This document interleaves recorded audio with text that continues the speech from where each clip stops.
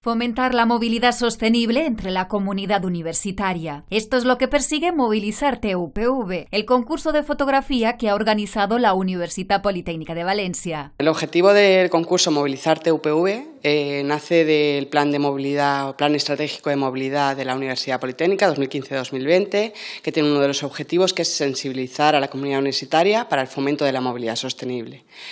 Bueno, pues con este concurso lo que queremos es eso, concienciar, motivar y, bueno, eh, mover conciencia. Captura con tu cámara cualquier aspecto asociado a la movilidad sostenible en el ámbito de la universidad y su entorno y haz llegar tus propuestas antes del 9 de septiembre. El tipo de fotografía es libre y lo que tiene que plasmar es tanto un fomentar eh, esas buenas prácticas que, se ven en, cuanto a la movilidad sostenible, como hacer una crítica de todos aquellos modos de transporte no sostenibles.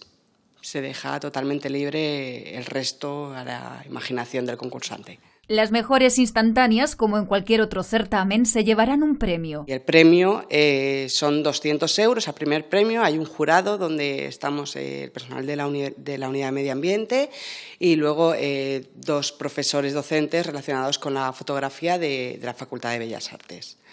Y luego hay un segundo premio, no es premio realmente, es un reconocimiento aquel que no ha conseguido el primer premio de 200 euros, se publicarán todas las fotos en Facebook de, la Unidad de Medio Ambiente y la más votada eh, tendrá un reconocimiento.